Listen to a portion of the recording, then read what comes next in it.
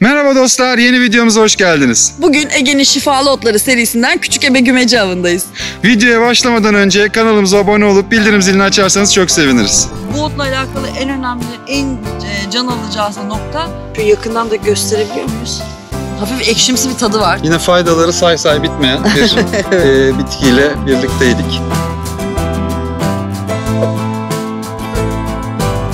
Evet dostlar koyunlarımızın yanındayız. Aslında konunun uzmanı onlar. Biraz böyle koyunları takip edip onların yemediği otlar neler neleri yiyorlar. Aslında oradan bile bir çıkarım yapabiliriz. Zannediyorum bu küçük ebe gümeciyi de çok seviyorlar. Çünkü birçok yararlı ot gibi bunu da bahçede bulmak artık bayağı zor hale geldi. Doğanın içindeyiz ve doğanın bütün nimetlerinden de faydalanmak istiyoruz. Bunun içinde Ege'nin şifalı otları da var. Aslında konuyla alakalı çok bilgimiz var mıydı? Hayır yoktu. Yeni yeni araştırmaya başladık ve araştırmalar sonucu edindiğimiz bilgiyi de sizlerle paylaşmak istiyoruz. Daha önce sinir otuyla alakalı paylaştığımız videoya gelen bir yorum vardı. Henüz bunları çok bilmiyorsunuz, denemekten korkmuyor musunuz diye. Ama bununla alakalı araştırmalarımız sonucu bulduğumuz birkaç uygulama var. Çünkü gerçekten birbirine çok benzer otlar var. Yanlışa düşmemek ve hata yapmamak lazım.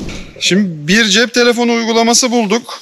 Farklı cep telefonu uygulamalarını da deniyoruz. Bunlarla ilgili iyice araştırma yaptıktan sonra bir video hazırlayacağız. Şöyle bakın fotoğrafını gösterip çektiğimiz zaman bize bitkinin ne olduğunu söylüyor. Dostlar tüm ot videolarında olacağı gibi bu videomuzda dört farklı bölümden oluşacak. İlk olarak bu otu nasıl toplarız? İkincisi kimler kullanamaz ki bu konu çok önemli. Üçüncü olarak nasıl kullanabiliriz? Son olarak da faydaları nelerdir?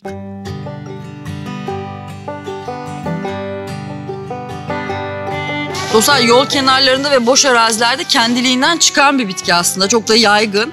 Hafif ekşimsi bir tadı var. Tadına bakmıştım. Yine bakayım sizin için.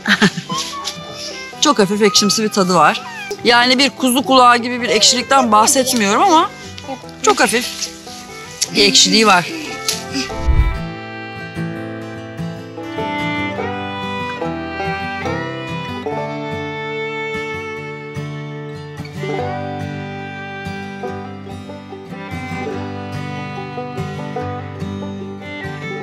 Şöyle diplerine doğru kırmızı bir bitki. Şu yakından da gösterebiliyor muyuz? Çok tanıdık bir bitki bence zaten. Çok kolay tanıyabileceğiniz bir bitki. Baharda, daha doğrusu bahardan yaza doğru geçerken böyle mor çiçekler açıyor bu. E, oradan da tanıyabilirsiniz. Aslında An- Anadolu'da çok da yaygın. Yani bilenler çok biliyor ve bunu çok da kullanıyorlar. Dostlar algıda seçicilik. Ee, daha önce dikkat etmiyormuşuz ama şimdi ot arayışlarına böyle başlayınca yerde çim haricinde birbirinden o kadar farklı yapıda otlar, bitkiler var ki yani hepsini öğrenmek için gerçekten çok sabırsızlanıyorum ve bu kadar çeşit olması beni çok şaşırtıyor. Yani küçücük bir yerde bile birbirinden o kadar farklı bitkiler var ki çok Muazzam. enteresan doğa, muazzam. Ya şunu söyleyebilirim. Evin sağ tarafında başka, sol tarafında başka, altında başka, üstünde başka otlar var. Gerçekten çok çeşitli. Ege'de sanırım bu- bu konuda gerçekten çeşitli bir bölge. Çok fazla otun olduğu bir bölge. Zaten Ege otları meşhur. Evet.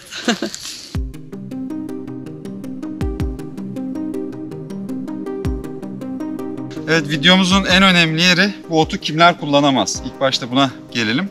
Öncelikle zaten herhangi bir rahatsızlığınız varsa ve düzenli bir ilaç kullanıyorsanız doktor kontrolünde olmadan kesinlikle böyle şeyler kullanmayın. Hiçbir otu kullanmayın. Ve belli bir oranı da aşmamak gerekiyor. Yani günlük kullanım limitine de dikkat etmek gerekiyor. Birbirleriyle çok karıştırmamak da gerekiyor. Evet. Tabii tabii. Yani bir kür yapıyorsanız o kürü 15 gün devam edeceksiniz ve başka bir e, kürle de karıştırmayacaksınız. Başka bir otla da bitkiyle de karıştırmayacaksınız. Bu otla alakalı en önemli, en e, can aslında nokta hamile kalmak isteyenler ya da hamileler ya da emziren anneler kullanamazlar. Burada en önemli söylenilmesi gereken husus hamile kalmak istiyorsanız dostlar bu e, otu tüketmeyin. Çünkü otun regl düzensizliği ile alakalı, adet düzensizliği ile alakalı e, etki edebilecek bir yapısı var. Otun etkilerinden bir tanesi regl düzensizliği yani geciktiriyor. Geciktirmek gibi bir yapısı var. Bu nedenle de e, zaten böyle bir probleminiz varsa o zaman bu otu çok daha temkinli kullanmanızda fayda var.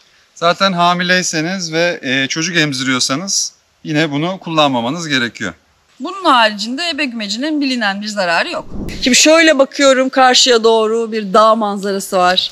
Arkamda zaten mis gibi bir deniz manzarası var. Havada nasıl güzel. Ya şöyle sizin yerinize bir şöyle bir derin bir nefes almak istedim. Ay Deniz şunların güzelliğine bak ya. Ya bahar kışı bitirmeden bahar resmen burada yaşatıyor kendini. Şuna bakar mısın? Ay çok güzelsin ya. Çok güzelsin. Arkada da beyazlar var. Evet baksana şunların güzelliğine. Bunlara da bir bakalım ya uygulamadan. Olur mu neydi, neydi çiçeklerin adı? Bak şunun güzelliğine bak. Şöyle hemen uygulamamızı açalım. Teknoloji de ne kadar gelişti ya. Artık Müthiş ne bir kadar şey rahat ya, değil mi? Vallahi. Şöyle. Hop. Resmini çekiyorsun ve Böyle biraz maydanoza kişnişe benzer bir yaprağı var. Bak şurada dibinde de gözüküyor zaten. Baksana ama çalıların falan arasında kuytu köşede çıkmışlar. Çok da güzel bir çiçekmiş.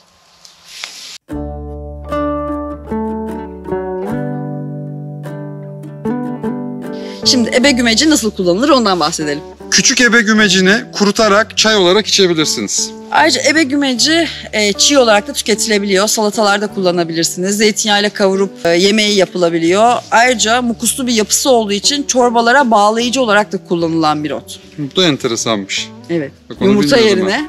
Direkt böyle çiğ olarak atıp tüketebiliyorum. Evet tabii. Salata malata. Evet biz bayağı zenginliğin içinde yaşıyoruz ya. Aynen öyle. Tabii kurutup çayını yapıyoruz dedik. Burada şöyle bir uyarı da yapmamız lazım. Bir hafta kullandıktan sonra 5-6 gün ara vereceğiniz bir kür olarak kullanmalısınız. Ve günde bir iki fincanı geçmemelisiniz dostlar. Evet mi? Hı hı. İyi onay verdi patron. Hadi o zaman Doğru eve doğru söylüyor. geçelim. Doğru söylüyor. Uzaklarda arama. direkt evin benim içimdesin. direkt evin bahçesindeymiş ya. Şöyle yanından kim bilir kaç defa geçtik. Üstünden zıpladık atladık. İşte o algıda seçicilik biraz. Evet işte bilmeyince bakmıyorsun. Deniz tam e, çekimin hazırlıklarına devam ederken dedim aa burada da var. Onları da toplayayım. Hatta şu kenarlarda falan da bir sürü var Deniz.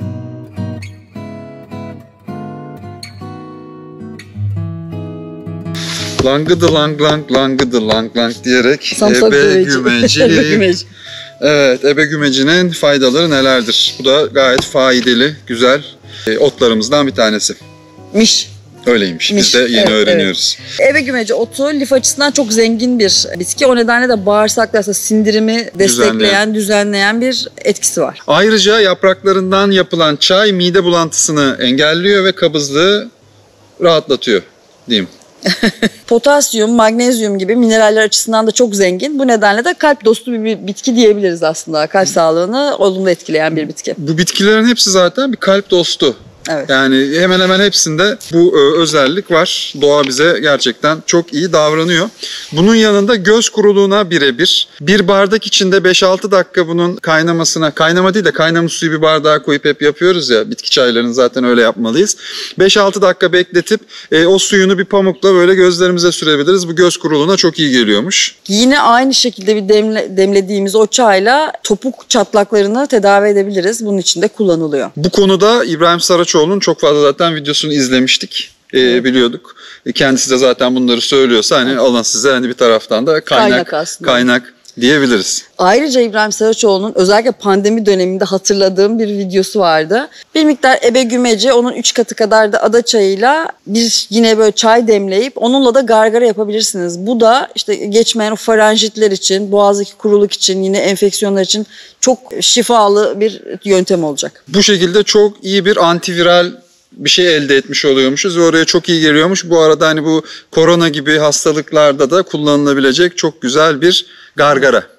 Ayrıca gırtlak kanseri için de çok koruyucu bir etkisi var bu yaptığımız gargaranın. Çok Faydalı. Evet çok faydalı ya. Yine faydaları say say bitmeyen bir e, bitkiyle birlikteydik. Dostlar bu seride biz öğrenmeye, denemeye ve sizlerle paylaşmaya devam edeceğiz. Biz her şeyi sizlerle paylaşıyoruz. Tabii ki bu bilgileri de paylaşmak bence çok mühim. Ya bu aynı zamanda çok önemli bir şey. Kesinlikle. Bir önceki e, damar otu videomuzda çok fazla kişi yazdı çünkü. Biz gençliğimizde bu otu biliyorduk. Yeni gençler bu otu bilmiyor. İşte bunların daha duyurulması lazım. Bence çok önemli değerlerimiz. Bunları hatırlamak, öğrenmek ve çevreye yaymak lazım. Unutmamak gerekiyor ki bilgiyi paylaştıkça çoğalır. Bu yüzden sizin de bu ot hakkında bildiğiniz bir şey varsa yorumlara hemen yazarsanız biz de o bilgileri almış oluruz. Bizim bilgimiz de büyür. Bunlardan okuyanlar da faydalanır. Aynı zamanda şöyle yani biz doğadayız ve buradaki nimetlerden faydalanmak istiyoruz maksimum düzeyde ve bu konuya ciddi anlamda eğildik. Ama bizim gibi doğa içerisinde yaşayamayan ya da daha uzakta olan insanlar için de güvenilir aktarlarınızdan bu bahsettiğimiz otların Otların. tamamını tedarik edip onlarla siz de sağlığınıza sağlık katabilirsiniz ya da şifa bulabilirsiniz. Tabii ki hastane, doktor, ilerlemiş hastalıklar için bu çok farklı bir şey ama sağlıklı yaşamak için doğadan faydalanmalıyız. Hemen ben yorum yazın demişken Ege otlarını bilenler bize bir sonra acaba hangi Ege otunu arasak onu da yorumlara yazarsa hangi Ege otunu öğrensek acaba nasıl bir şifalı ot var e, bizim çevremizde önerilerde bulunursa çok seviniriz. Ya bilmeyenler için aslında zaten neyi tavsiye edeceğini söylemek onun için çok zor. E, Ya zaten bilmiyor ama bilenler şu ot çok faydalı bakın ondan da bahsedebilirsiniz derseniz bizim için çok çok güzel olur ama bizim arayışımız daha devam ediyor. Na- neye göre karar veriyoruz? Bahçemizde, çevremizde neler var aslında biz böyle ilerliyoruz. Şimdi cep telefonu uygulamasını aldık. Her yaprağa her şeye bakıyoruz. Onu araştırıyoruz. Aa bu buymuş, bu şöyle faydalı. Bir kendimizce bir liste hazırladık ve yavaş yavaş tüm otları da bir oynatma listesi içinde, yeni bir oynatma listesi içinde sizlerle buluşturacağız. Videomuzun sonuna gelirken bu tarz videolardan, bu tarz içeriklerden hoşlanabilecek tanıdıklarınıza videomuzu gönderebilirsiniz. Ayrıca kanalımıza abone olup bildirim zilini de açarsanız çok mutlu oluruz. O zaman diğer videolarımızda görüşene kadar. Hoşçakalın. Hoşça kalın.